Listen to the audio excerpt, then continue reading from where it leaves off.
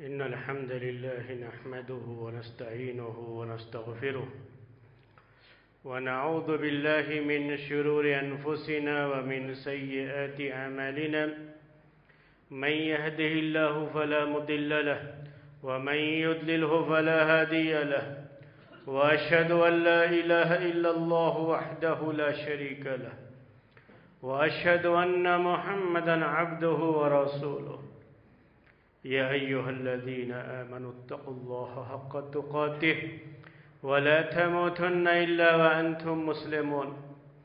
يا أيها الناس اتقوا ربكم الذي خلقكم من نفس واحدة وخلق منها زوجها وبث منهما رجالا كثيرا ونساء واتقوا الله الذي تساءلون به والأرحام.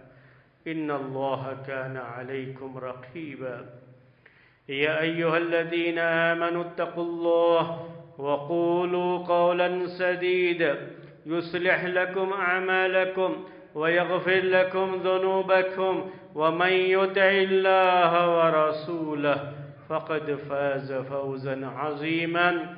أما بعد فإن خير الحديث كتاب الله وخير الهدي هدي محمد صلى الله عليه وسلم وشر الأمور محدثاتها وكل محدثة بدعة وكل بدعة ضلالة وكل ضلالة في النار. محترم بھائیوں اور معزز خواتین آج جمعے کا دن اور آج عرفہ کا دن بھی ہے۔ اللہ تبارک و تعالیٰ کا یہ بڑا کرم ہے، بڑا فضل ہے کہ اللہ تعالیٰ نے ہمیں یہ دن نصیب فرمایا ہے کہ جمعے کا دن بھی ہے اور یہ عرفہ کا دن بھی ہے۔ آج کے دن ابھی تقریباً دو گھنٹے کے بعد سے اللہ تبارک و تعالیٰ کے وہ بندے جو حج کے ارادے سے گئے ہوئے ہیں، وہ عرفہ کے میدان میں اکٹھا ہوں گے۔ ظہر اور عصر کی نماز ایک ساتھ ادا کریں گے اور اس کے بعد سے اللہ تبارک و تعالیٰ سے دعاؤں میں، مناجات میں، گریہ وزاری میں اور اپنی حاجتیں طلب کرنے میں وہ یہ وقت گزاریں گے، بڑا ہی قیمتی وقت اور بڑا ہی اہم وقت جس میں اللہ تبارک و تعالیٰ کی رحمتوں کی بارش ہوتی ہے۔ اور اللہ تبارک و تعالیٰ اپنے بندوں پر خاص کرم فرماتا ہے، خاص نظر رکھتا ہے، خاص نظر کرتا ہے۔ تو یہ میرے بھائیوں آج ہم عرفہ کے دن اور جمعے کے دن ہم جمعے کی نماز کے لیے اکٹھا ہیں۔ اس دن کی اہمیت کو یہ سمجھیے آپ کہ ایک مرتبہ عمر بن خطاب رضی اللہ تعالی عنہ سے ایک یہودی نے یہ بات کہی۔ بڑے ہی عجیب انداز سے اور بیتو کے انداز سے یہ بات کہی کہ یا معاشر المسلمین، قد انزل الله عليكم آية لو انزلت علينا معشر اليهود لاتخذنا ذلك اليوم عيدا.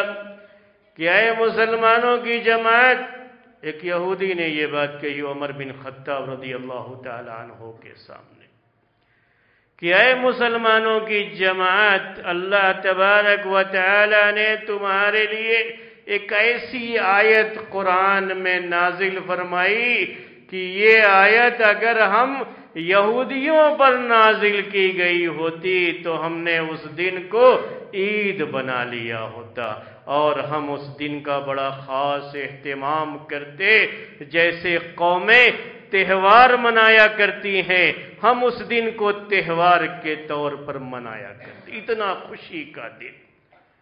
پوچھا عمر بن خطاب رضی اللہ تعالیٰ عنہ نے، کیا تمہارے کہنے کا کیا مطلب ہے؟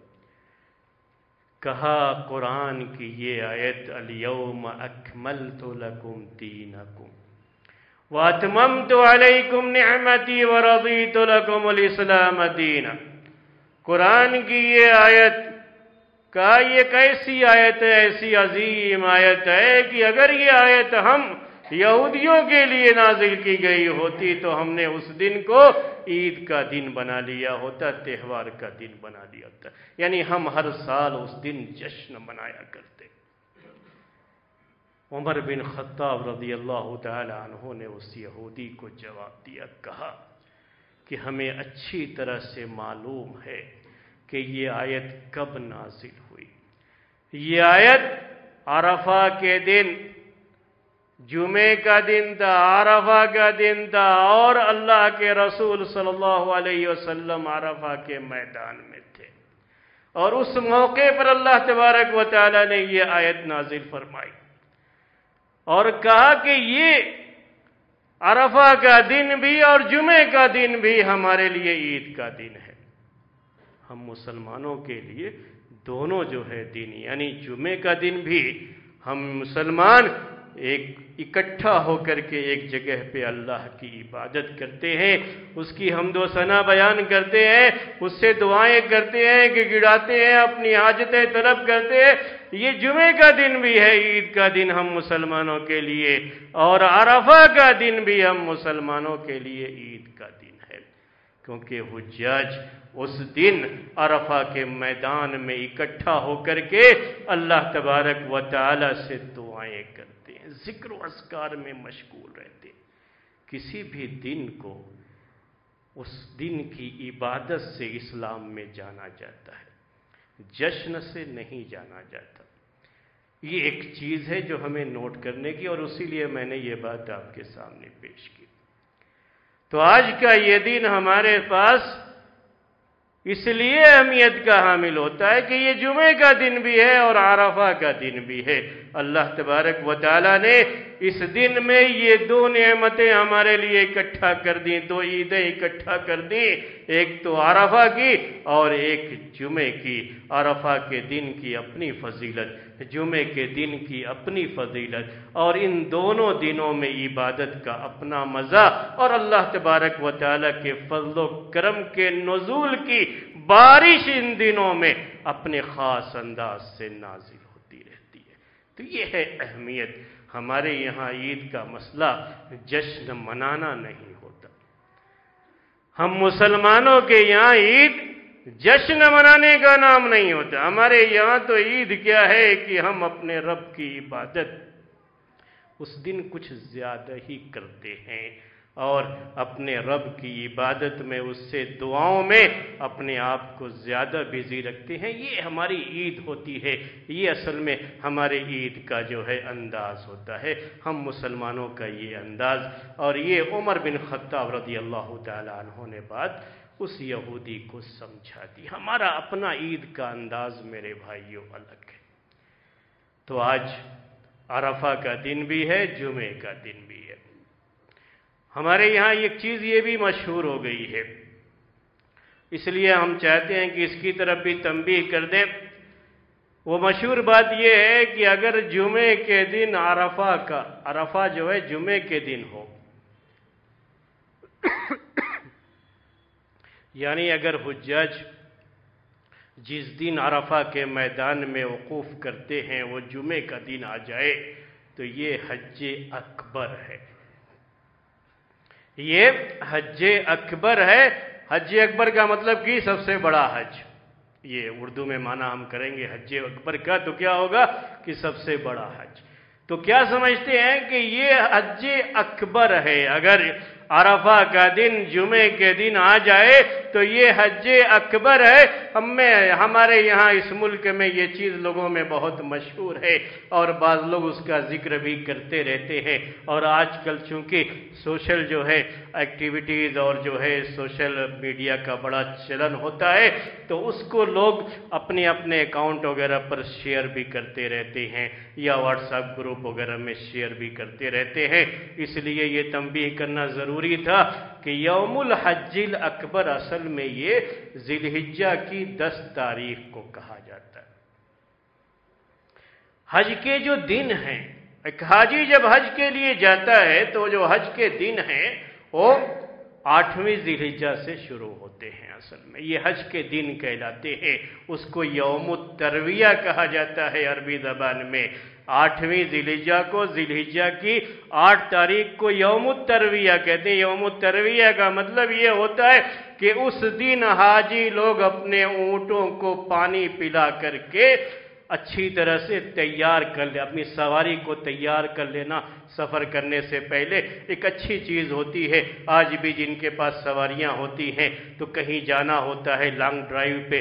تو پہلے گاڑی کو چیک کر لیتے ہیں، اچھی طرح سے پیٹرول جو بھی چیزیں ضرورت ہیں گاڑی کی، وہ جو ہے اس میں ڈلوا لیتے ہیں، ٹنکی فل کر لیتے ہیں۔ یہ ساری چیزیں ہوتی ہیں، تو اس زمانے میں یہی چیز اس زمانے کی جو سواری تھی، اونٹ کی سواری، تو اس کے تعلق سے بھی یہ چیز ہوتی تھی کہ اونٹ کو اچھی طرح سے لوگ پانی پلا دیا کرتے تھے۔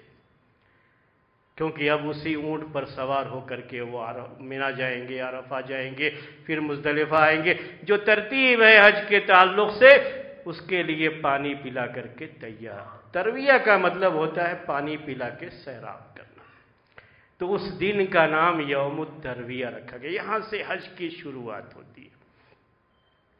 اس کے بعد جو نو ذیلجہ ہے، اسے یوم عرفہ کہا جاتا ہے، جس دن کی خاص طریقے سے لوگ عرفہ کے میدان میں قیام کرتے ہیں، وہاں پہ وقوف کرتے ہیں، ٹھہرتے ہیں، اور یہ حج کا اتنا اہم رکن ہے کہ اس کے بغیر حج نہیں ہو سکتا۔ اگر کسی نے وقوف عرفہ یہ نہیں ملا اسے، تو اس کا حج نہیں ہو سکتا۔ تو یہ ایک جو ہے وقوف عرفہ، یہ نو ذیل کی بات، پھر دس ذیل کو یوم النہر کہتے ہیں، جو قربانی کا دن، نہر کو اصل عربی زبان میں اونٹ کو نہر کیا جاتا ہے قربانی کے وقت میں۔ نہر کا جو ہے، یہ جگہ جو انسان کی ہے، ایسے ہی جانوروں کی یہ جگہ، اس کو عربی میں نہر کہا جاتا ہے۔ اور اونٹ کو ذبح کرنے کا طریقہ یہ تھا کہ کھڑے کھڑے اونٹ کو یہیں پر جو ہے چھوڑی مار دیا کرتے تھے، اسی کو نہر کرنا کہتے تھے۔ جب اس کا خون نکل کر کے کمزور ہو جاتا، زمین پہ خود گر جاتا تب اس کی جو ہے گردن اس وقت کاٹتے تھے۔ یہ طریقہ تھا، اسی لیے اس کو نہر کہا جاتا تھا اور اسی مناسبت سے اس دن کو یوم النہر کہا جاتا ہے۔ یعنی نہر کرنے کا دن، قربانی کرنے کا دن۔ اور یہی دسویں ذیلحجہ اس کو یوم الحج الاکبر بھی کہا جاتا ہے۔ قرآن میں جو اس کا ذکر ہے، یوم حج اکبر کا، تو یہ وہی دن ہے۔ کیونکہ حج کے اندر یہ یوم النہر کو حاجی کے لیے چار اہم کام انجام دینے ہوتے ہیں۔ تو حج کے جو بھی مناسک ہے حج کی جو عبادتیں ہیں، وہ اس دن میں زیادہ رکھی گئی ہیں۔ ایک حاجی کے لیے یہ ایک بڑا بیزی جو ہے شیڈول ہوتا ہے۔ اس دن کا بڑا اہم جو ہے دن ہوتا ہے کہ اسی دن اسے چار اہم کام کرنے ہوتے ہیں۔ رمیت جمرہ جو ہے یعنی جمرہ کو رمی کرنا، کنکڑی مارنا، پتھر مارنا، اس کے بعد قربانی کرنا، اپنا بال جو ہے مڑوانا یا بال چھوٹا کروانا، پھر طواف افادہ یا جسے طواف زیارہ بھی کہتے ہیں، جا کے اللہ کے گھر کا طواف کرنا، یہ اس کے لیے اہم کام ہوتے ہیں اس دن۔ اور بڑا بزی شیڈول ہے اس کا حاجی کا۔ اسی وجہ سے اس دن کو یوم الحج الاکبر کہا جاتا ہے۔ یعنی حج کے جو دن ہیں، آٹھ ذیلجہ نو ذیلجہ دس ذیلجہ اور اس کے بعد پھر گیارہ، بارہ اور تیرہ، جسے ایام تشریق کہا جاتا ہے۔ ان جو ہے تمام دنوں، چھ دن ہوتے ہیں پورے، ان تمام دنوں میں یہ جو دسواں دن ہوتا ہے ذیلحجہ کا دسویں تاریخ ہوتی ہے جسے یوم النہر کہا جاتا ہے، یہ سب سے بزی دن ہوتا ہے۔ اسی دن حج کے زیادہ اہم کام انجام پاتے ہیں۔ اسی لیے اسے یوم الحج اکبر کہا جاتا ہے۔ اس کا تعلق اس سے نہیں ہے کہ اگر عرفہ کا دن، عرفہ کا دن جمعے کے دن آ جائے تو پھر یہ یوم حج اکبر ہے۔ آج بہت سے لوگ جن کی جن کو اپنی تجارتیں چمکانی ہوتی ہیں۔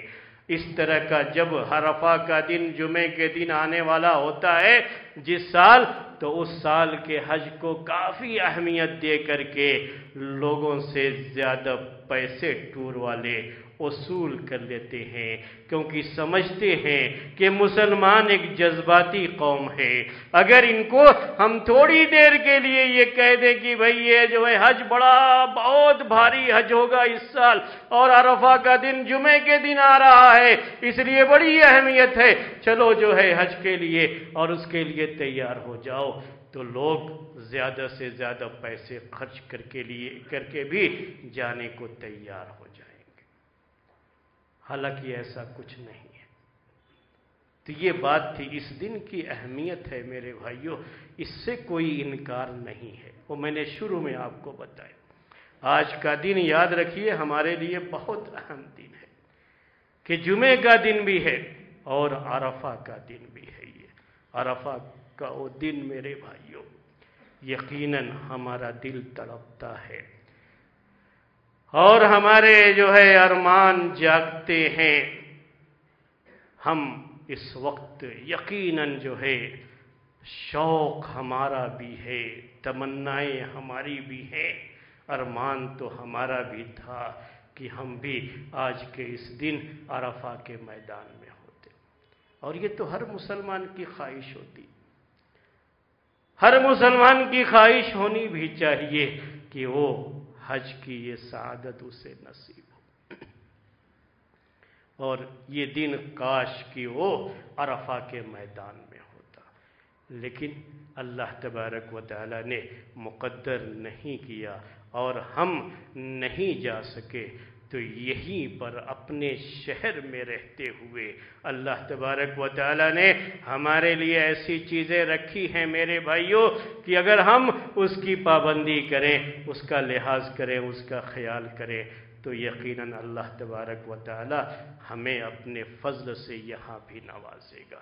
یہ اللہ تبارک و تعالی کی ذات سے ہمیں امید ہے۔ تو نمبر ایک بات یہ ہے کہ آج کا دن جیسا کہ ابھی ہم نے آپ سے کہا، بار بار کہا کہ عرفہ کا دن ہے اور اب سے جو ہے تقریباً ڈیڑھ گھنٹے کے بعد جو ہے وہ اس کا وقوف کا ٹائم بھی، زوال کے بعد وہ ٹائم ہوتا ہے تو وہاں کے زوال کے لحاظ سے شروع بھی ہو جائے گا۔ بڑا اہم وقت ہے۔ کوشش کیجیے کہ ہم تو وہاں نہیں جا سکے تو اپنے ہی شہر میں اپنے رب کی عبادت اور اس کے ذکر و اسکار میں تھوڑا ٹائم بسر کر اس سے دعائیں کرنے میں اور التجائیں کرنے میں اپنا تھوڑا وقت لگا لیں۔ یہی رہتے ہوئے اگر کریں تو وہ رب تو بڑا مہربان ہے۔ اور آج کے دن تو اس کی مہربانیاں بڑے زور پہ ہوتی ہے میرے بھائیوں اور اس کا، اس کی شان جو ہے اس کا فضل آج کے دن بڑا خاص ہوتا ہے۔ جمعے کا دن بھی ہے۔ جمعے کی اپنی فضیلت ہے۔ اور جمعے کے دن ہونے کے لحاظ سے آپ اپنا دن جو عبادات میں مشغول ہو کر کے گزاریں گے تو اس کی اپنی فضیلت اور ساتھ میں عرفہ کا دن بھی ہے۔ تو بس یہ تھوڑی سی کوشش کیجیے تو اللہ تبارک و تعالی اپنے کرم کی بارش نازل فرمائے۔ اس کے بعد ابھی جیسا کہ اب سب آپ لوگ جانتے ہیں کہ بس ایک دن کے بعد عید الاضحیٰ جو قربانی کی عید کہلاتی ہے، یہ اب ہمارے سامنے ہے بالکل۔ اس قربانی کے تعلق سے چند مسائل چاہیں گے کہ آج کے اس خطبے میں آپ کے سامنے ذکر کریں۔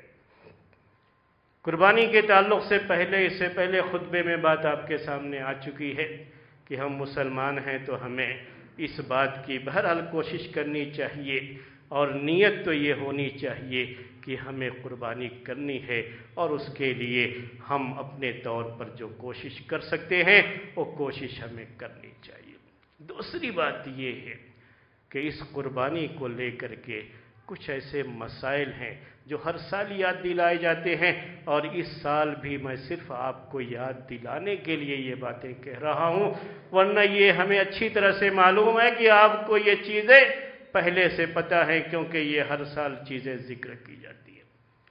قربانی خالص اللہ کی عبادت اور تقوی کی نیت سے اللہ تبارک و تعالیٰ کے لیے پیش کرنی ہے۔ اخلاص جو ہر عبادت کے لیے اہم چیز ہے ایک مسلمان کے لیے قربانی کی اس عبادت میں بھی اس کا ہونا یقیناً ضروری ہے۔ دوسری بات یہ کہ قربانی کے جانور کو ذبح کرنے کے وقت کچھ آداب ہیں جن کا ہمیں لحاظ رکھنا چاہیے اور پیارے نبی صلی اللہ علیہ وسلم نے ہمیں اس کی ہدایت فرمائی۔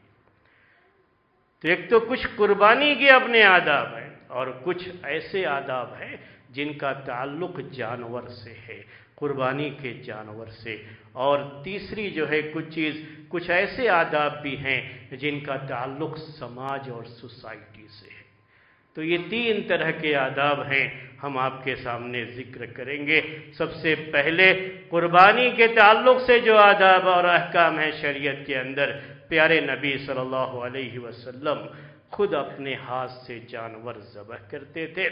اور آپ کا یہ طریقہ تھا۔ ذبح کرنے کا ایک بڑا خاص انداز ہوتا تھا کہ پہلو کے بل جانور کو لٹا کر کے اپنا یہ دایاں گھٹنا اس کے جو ہے پہلو پر جو ہے رکھ کر کے ایک ہاتھ سے اس کی گردن جو ہے اس کا جو منہ ہے وہاں پہ پکڑا اور دوسرے ہاتھ میں چھوڑی اور اس طریقے سے پیارے نبی صلی اللہ علیہ وسلم خود جانور ذبح کر دیا کرتے۔ اونٹ کے لیے نہر کا مسئلہ ہوتا ہے، وہ میں نے پہلے آپ کو ذکر کیا، اونٹ کو کھڑے کھڑے ہی اگر ممکن ہو سکے بیٹھانا تو بیٹھا لیں، ورنہ بیٹھانا بھی آسان نہیں ہوتا اونٹ کے لیے، تو کھڑے کھڑے بھی جو ہے اونٹ کو اس جو ہے جگہ پر چھڑی سے بہت ہی تیز قسم کی چھڑی جو دونوں طرف دھار رکھتی ہو، بہت ہی طاقت کے ساتھ اسے مارنا ہوتا ہے۔ کیونکہ اس کا چمڑا بھی بہت سخت ہوتا ہے اور اس طریقے سے وہاں سے خون بہنا شروع ہوتا ہے، پھر آدمی وہاں سے ہٹ جاتا ہے۔ کیونکہ اونٹ جو ہے ایسا جانور ہے کہ اگر اس نے اپنا منہ کھول کر کے کسی کی کھوپڑی اس وقت پکڑ لی تو بہت غصے میں ہوتا ہے۔ اس کے بعد وہ اپنا جانور خود بخود جب خون جو ہے اس کا بہ جاتا ہے تو خود ہی زمین پر گر جاتا ہے۔ اب اس کے جو ہے ذبح کرنا آسان ہوتا ہے، پھر اس وقت اس کی گردن کاٹ دی جاتی ہے۔ جانور کو ذبح کرنے کے وقت بھی اس بات کا لحاظ کرنے کے لیے کہا اللہ کے رسول صلی اللہ علیہ وسلم نے کہ جہاں تک ہو سکے جانور کو کم سے کم تکلیف ہو، ذبح کرنے کا یہ انداز اپنایا جائے۔ اور آپ نے ارشاد فرمایا بہت مشہور حدیث، صحیح حدیث، ان اللہ کتب الاحسان علی کل شیء کہ اللہ تبارک و تعالی نے ہر چیز کے ساتھ اچھائی کرنے کو لکھ دیا ہے، ہم پر فرض کیا ہے کہ ہم ہر کام میں، ہر چیز میں اچھائی کو سامنے رکھیں، احسان کو سامنے رکھیں۔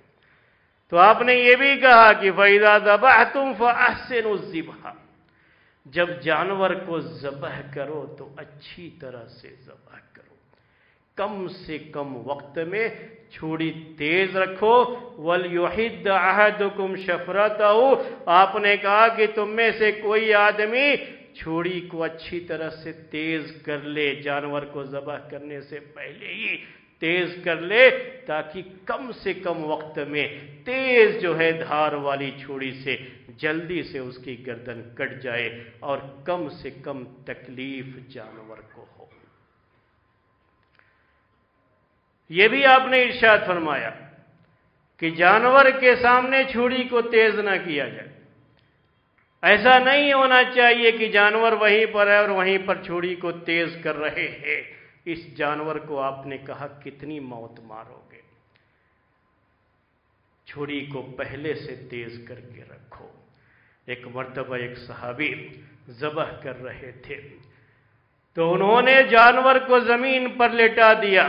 لبین پر لٹانے کے بعد اپنا پیر بھی اس کے اوپر رکھے ہوئے اسے پکڑے ہوئے اور چھوڑی لے کر کے اس زمانے میں پتھر ہوتے تھے، پتھر پہ رگڑتے تھے تیز کرنے کے لیے۔ اس کو جو ہے منگا کر کے رگڑ رہے ہیں، تیز کر رہے ہیں۔ آپ نے کہا کہ اس جانور کو کتنی موت مارو گے؟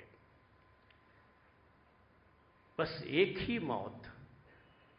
ذبح کرتے ہو تو پہلے سے ہی چھڑی کو تیز کر کے رکھو اور جلد از جلد کوشش کرو کہ جانور کو ذبح کر لو۔ تکلیف کم سے کم ہو۔ اسی لحاظ سے یہ بات بھی نوٹ کر لیجیے کہ یہ بھی جو ہے بعض لوگ کرتے ہیں اور وہ سمجھتے ہیں کہ شاید یہ دین کا حصہ ہے، حالانکہ وہ دین کا حصہ نہیں ہے۔ کہ جانور کو ذبح کرنے سے پہلے زبردستی پانی پلانا چاہتے۔ بعض مرتبہ تو زمین پر لٹانے کے بعد زبردستی منہ کھول کر کے پانی ڈالے۔ سب جانور کو تکلیف پہنچانے کی چیزیں ہم نے دیکھا دکانوں پہ مرغی کو بھی ذبح کرنا ہے تو پہلے اس کو پانی پلاتے ہیں۔ انہیں سمجھتے ہیں کہ شاید یہ ہمارے دین کا حصہ ہے کہ پہلے ذبح کرنے سے پہلے کیا کرو؟ پانی پلا دو۔ ایسا کچھ نہیں ہے۔ پانی اس کے سامنے رکھ دو۔ اگر اس کی اپنی خواہش ہے پانی پینے کی، تو اپنی خواہش سے وہ پانی پی لے۔ زبردستی کرنے میں سوائے اس کے کہ ہم جانور کو تکلیف پہنچاتے ہیں اور کچھ بھی نہیں۔ اس کے بعد جانور کو جب اس کی جلد نکالنا ہے، جسے عربی میں صدقہ کہتے ہیں۔ اس کے چمڑے کو، اس کی اسکن کو جو ہے نکالنا ہے، تو یہ بھی کوشش کرے کہ جانور اچھی طرح سے ذبح ہونے کے بعد اس کی حرکت بند ہو جائے، کیونکہ تھوڑی دیر تک ابھی وہ اپنے ہاتھ پیر کو حرکت دیتا ہے، گرم گرم رہتا ہے۔ آج آپ ڈاکٹر لوگ بھی یہ بات کہتے ہیں، وہ آپ بھی جانتے ہیں کہ جب کسی بھی شخص کی، انسانوں کی بھی موت ہونے کے بعد بھی اس کے جسم کے حصے کچھ دیر تک ابھی زندہ رہتے ہیں۔ یعنی اس میں احساس باقی رہتا ہے۔ جانور کو ذبح کرنے کے بعد اگرچہ کی اس کی موت ہو چکی ہے، لیکن جسم کے ان حصوں کو آپ دیکھیں گے، حرکت کرتا رہتا ہے، وہ اپنے پیر کو ہلاتا رہے گا، حرکت کرتا رہے گا۔ جب تک یہ حرکت کرتا ہے، اس کا مطلب کہ وہاں ابھی اس کو احساس باقی ہے۔ اگر فوراً شروع کریں گے وہاں جلد نکالنا، تو ابھی اس حصے میں جانور کو تکلیف ہوتی ہے۔ عام طریقے سے جنہیں جزار کسائی کہا جاتا ہے، وہ ان باتوں کا لحاظ نہیں کرتے کیونکہ ان کو یہ پتا ہے کہ جتنا گرم گرم جلدی جو ہے اس کو ہم جو ہے جلد نکالیں گے، اتنی آسانی سے جلد نکل جاتی ہے۔ اتنی جو ہے آسانی ہوتی ہے جلد نکالنے میں، جتنا ٹھنڈا ہو جائے گا جلد نکالنے میں اتنی ان کو پریشانی ہوتی ہے تو بہت جلدی کرنے کی کوشش کرتے ہیں۔ لیکن ہمیں اس کا خیال رکھنا چاہیے کہ اللہ کے رسول صلی اللہ علیہ وسلم نے کہا کہ جانور کو تکلیف کم سے کم ہونی چاہیے۔ یہ ہمیں خیال کرنا خود اپنے ہاتھ سے ذبح کرنا کوئی ضروری نہیں ہے۔ یہ پیارے نبی صلی اللہ علیہ وسلم کا طریقہ تھا اور اس زمانے میں لوگ اپنے ہاتھوں سے ہی ذبح کیا کرتے تھے۔ آج کے دور کی طرح سے چیزیں نہیں رہ گئی ہیں کہ جو ہے اس زمانے میں بھی کہ ہر کام کے لیے خاص لوگ ہوتے ہیں، وہی کرتے ہیں۔ ویسا نہیں، اس زمانے میں ہر کام آدمی خود اپنے ہاتھ سے کرتا تھا، تو ذبح بھی اپنے ہاتھ سے کرتا تھا۔ اب عام طریقے سے یہ کام کچھ خاص لوگ کرتے ہیں۔ تو کسی کی طرف سے دوسرا آدمی اگر ذبح کرتا ہے، تو کوئی حرج نہیں ہے، یہ جائز ہے، اس میں کوئی مسئلہ نہیں ہے۔ تو اس لیے اس کو خامخواہ کوئی ایشو بنا کر کے اس کے بارے میں بھی بحثیں کرنا اس کی کوئی ضرورت نہیں ہے۔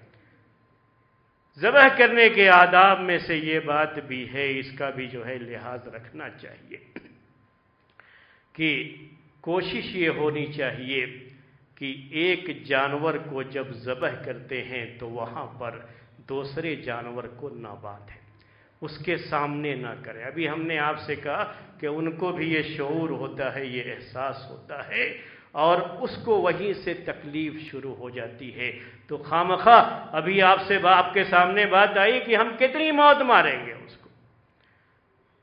ایک کو ذبح کر لیں، اس کے بعد جو ہے دوسرے کو دوسری جگہ باندھ کے رکھے اور پھر اس کو لے کر کے آئیں۔ جب اس کے ذبح کرنے کی باری ہو، اس کو ذبح کیا جائے۔ یہ اس کا بہتر اور صحیح طریقہ ہوتا ہے۔ کم سے کم تکلیف پہنچانا اس کے بعد میرے بھائیوں قربانی کے اس مسئلے سے کو لے کر کے ایک دوسری بات یہ ہے کہ اس کا تعلق جو سوسائٹی سے ہے، سوسائٹی۔ مجتمع، سوسائٹی جہاں ہم رہتے ہیں، سماج، اس سماج کا ہم بھی ایک حصہ ہے ہمارے لیے یہ ضروری ہے میرے بھائیوں ہمارے اسلام نے ہم کو یہ سکھایا ہے۔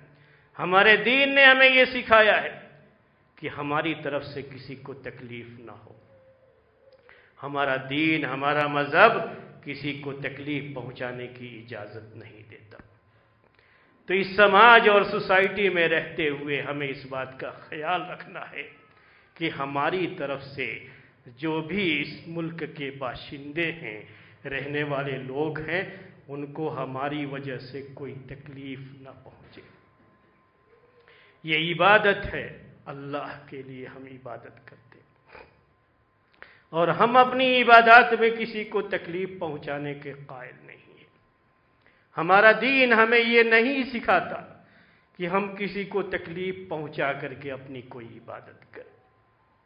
اس لیے پوری کوشش کریں کہ ہمارے اس عمل سے کسی کے جذبات کو کوئی ٹھیس نہ پہنچے۔ کسی کو کوئی پریشانی نہ ہو۔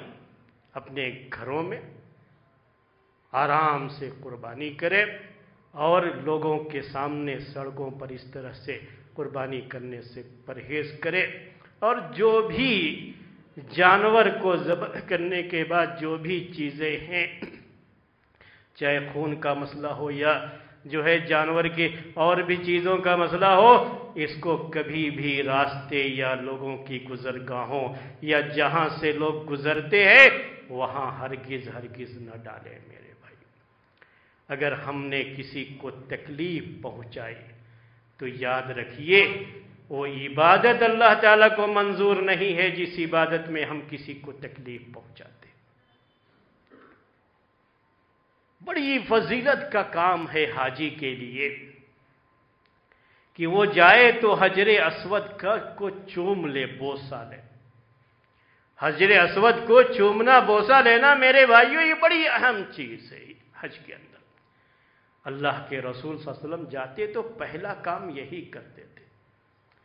لیکن پھر بھی عمر رضی اللہ تعالی عنہ کو آپ نے کہا کہ عمر تم بہت طاقت والے آدمی ہو، کہیں ایسا نہ ہو کہ تم اس پتھر کو چومنے کے چکر میں دوسروں کو تکلیف نہ پہنچا۔ کہیں ایسا نہ ہو جائے کہ اس کے لیے ایک عبادت ہے وہ کرنے کے لیے دوسروں کو تکلیف پہنچاؤ، تو ایسا نہیں۔ میرے بھائیو عبادت اسلام کی ہمیں کرنا ہے، قربانی۔ کوئی منع کرے تو اس کی اپنی بات ہے، پھر ہم اس کے بارے میں نہیں۔ ہماری ایک عبادت ہے، ہم اسے انجام دیں گے۔ اللہ تبارک و تعالیٰ نے ہمارے لیے سہولت دی ہے تو ہم کریں گے۔ لیکن ہم اپنی طرف سے خود یہ خیال رکھیں گے۔ کہ ہماری اس عبادت سے دوسرے کو کوئی تکلیف نہ ہو۔ نہ راستوں کو ہم خراب کریں اور نہ ہی راستے میں جانور کو باندھ کر کے ویسے ہی راستہ گندا چھوڑ کر کے آنے جانے والوں کی تکلیف کا سامان کرے تو یہ ہمارا اسلام ہم کو نہیں سکھاتا۔ اگر کہیں باندھا بھی ہے تو جو بھی گندگی ہے اس کی صفائی کا ہمیں پورا لحاظ رکھنا۔ یاد رکھیے، ہم سے اگر اس میں کوئی بھی کوتاہی ہوتی ہے، تو یہ کوتاہی ہمارے اپنا معاملہ نہیں ہوگا، بلکہ اس میں بدنامی ہمارے دین کی ہوتی ہے، ہمارے اسلام کی ہوتی ہے۔ اس میں بدنامی ہمارے پیارے نبی صلی اللہ علیہ وسلم کی ہوتی ہے کہ ہمارے نبی نے ہمیں کیا تعلیم دی ہے۔ حقیقت میں یہ رسوائی اسلام کی رسوائی ہو۔ یہ بدنامی اسلام کی بدنامی ہوتی ہے۔ اس لیے اس بات کو اچھی طرح سے نوٹ کر لیں کہ ہم اپنی طرف سے پورا خیال رکھیں گے اور اس چیز کو یقینی بنائیں گے کہ ہماری طرف سے کسی کو کوئی تکلیف نہ ہو۔ کہیں کوئی گندگی نہیں، کہیں نظر ہی نہ آئے کہ یہاں قربانی ہوئی ہے۔ یہ انداز اپنائیں۔ دیکھیے اس کے بعد کوئی بھی جو ہے اس مسئلے کو نہ کبھی اٹھائے گا اور نہ ہی کوئی اس کے بارے میں بات کرے گا۔ بس یہ ہے کہ ہم اپنی ذمہ داریوں کو سمجھیں اس سلسلے ایک آخری بات اس سلسلے کی، چونکہ وقت ہو گیا ہے اور بھی سارے مسائل تو آپ کے سامنے نہیں ذکر کیے جا سکتے۔ قربانی کے بعد، قربانی کے گوشت کا ایک بڑا مسئلہ رہتا ہے۔ لوگ اکثر اس کے بارے میں سوالات کرتے رہتے ہیں۔ قربانی کے گوشت کے تعلق سے میرے بھائیوں یہ یاد رکھنا چاہیے کہ یہ قربانی کا گوشت ہے، کوئی صدقہ خیرات نہیں ہے۔ یعنی اس گوشت کا انسان خود مالک ہے جس نے قربانی کی ہے۔ اور یہ کوئی صدقہ خیرات نہیں ہے کہ وہ خود استعمال نہیں کر سکتا یا اپنے رشتہ داروں کو نہیں دے سکتا، ایسا کچھ معاملہ اس کا نہیں ہوتا ہے۔ قربانی قربانی ہے۔ وہ جس کو چاہے یہ گوشت دے سکتا ہے۔ اور جس کو چاہے نہ دے، یہ اس کا اپنا معاملہ ہے۔ پورا گوشت اپنے پاس رکھ کر کے بعد میں کھائے، کوئی حرج کی بات نہیں ہے۔ یہ سب کی سب جائز شکل ہے۔ بس یہ ہے کہ قرآن میں اللہ تبارک و تعالی نے یہ ذکر کیا ہے قربانی کے گوشت کے بارے میں کہ تم بھی کھاؤ اور جو بھی ضرورت مند ہیں، محتاج ہیں، ان کو بھی کھلاؤ۔ تو یہ کھانے کھلانے کی بات ہوتی ہے۔ اتنا ہی معاملہ ہے۔ اور آپ نے یہ بھی کہا ہے کہ اس کو چاہو تو ذخیرہ کر کے، جمع کر کے رکھ بھی لو، بعد میں کھاتے رہو۔ ایک سال صرف ایسا ہوا تھا کہ آپ نے منع کر دیا تھا کہ تین دن سے زیادہ کوئی قربانی کا گوشت اپنے پاس نہ رکھے۔ کیونکہ اس سال باہر سے کافی لوگ آ گئے تھے۔ اور لوگوں میں بڑی جو ہے پریشانی کا دور تھا لوگوں کے لیے، اور لوگوں کے کھانے پینے کے انتظام کا معاملہ تھا۔ تو اس موقع پر آپ نے کہا تھا کہ تین دن کے اندر اندر ہی آپ جو ہے استعمال کرنے کا گوشت اپنے پاس رکھیں، بقیہ لوگوں میں تقسیم کر دیں۔ ورنہ اس کے بعد تو ایسا بھی ہوا کہ کافی دنوں تک بھی بعد میں کھاتے رہیں، کوئی پریشانی کی بات نہیں ہے۔ اس میں سوچنے کا مسئلہ نہیں ہے کہ ہمیں تین حصے ہی کرنا ہے۔ اور لازمی طور پر برابر برابر تین حصے کرے، ایک حصہ خود رکھیں دوسرا حصہ اپنے رشتہ داروں میں تقسیم کرے اور تیسرا حصہ غریب مسکین میں تقسیم کریں ایسا کچھ بھی نہیں ہے۔ لوگ اس طرح کے مسئلے کو لے کر کے کافی پریشان رہتے ہیں کہ کہاں غریب مسکین کو تلاش کریں اور کہاں کس کس کو دیں۔ ایسا کچھ بھی نہیں ہے۔ جتنا ہو سکے کسی کو دینا ہے، دیجیے۔ جو کھانا ہے کھائیے، جو کھلانا ہے کھلائیے۔ بس یہ آپ کی اپنی چیز ہے۔ یہ قربانی ہے۔ صدقہ خیرات نہیں ہے۔ صرف بیچنا جائز نہیں ہے۔ صرف اتنی سی بات ہے۔ بیچنا جائز نہیں ہے۔ اور جو قربانی کرنے کے لیے ہم کسی کو بلاتے ہیں، جو بھی کسائی ہوتے ہیں، ان کو اجرت میں یہ گوشت نہیں دے سکتے، کیونکہ یہ بیچنا جائز نہیں ہے۔ اس لیے اس کو اجرت میں نہیں دے سکتے، لیکن کسی کو بھی گوشت دے سکتے ہیں، کھلا سکتے ہیں، چاہے جو ہے، جو بھی اپنے جو ہے ملنے والے ہیں، یہاں تک کہ اگر کسی کے ملنے والوں میں کوئی غیر مسلم بھی ہے، اس کو بھی دینا چاہتے ہیں قربانی کا گوشت۔ تو دے، کوئی بات نہیں، یہ آپ کی اپنی چیز ہے۔ آپ جس کو چاہیں گے، دیں گے۔ ہدیے میں دے، تحفے میں دے، کھائیں، کھلائیں۔ بس یہی مقصد ہے اس کا، بیچنے سے آپ نے منع فرمایا ہے۔ یہ چند باتیں تھیں۔ اسی پر آج کا یہ خطبہ ختم کرتے ہیں۔ اللہ تعالیٰ سے دعا کرتے ہیں کہ اللہ، عرفہ کا یہ دن، جمعہ کا یہ دن، یہ ہم عاجز اور فقیر بندے، اے اللہ، تجھ سے تیری مغفرت کی، کے طلبگار ہیں اور تجھ سے اے اللہ، ہم چاہتے ہیں کہ تم ہم کو اپنے فضل و کرم سے نواز دے۔ ہمارے جو بھی گناہ ہیں، اے اللہ تو بخش دے۔ اے اللہ، ہم نے جو بھی ٹوٹی پھوٹی عبادات کی ہے انہیں قبول فرما لے۔ آگے جو قربانی کی عبادت ہے اللہ، تو ہمیں توفیق دے کہ ہم اس قربانی کی عبادت کو بھی آسانی سے ادا کر سکے اے اللہ، ہم سے جو کچھ بھی ہو، جو بھی قربانی ہمارے جو ہے بھائی کرتے ہیں، کریں گے۔ اے اللہ، انہیں قبول فرما لے۔ آمین۔ اقول قولی هذا واستغفر الله لي ولكم ولسائر المؤمنين فاستغفروه، انه هو الغفور الرحيم ورب الحليم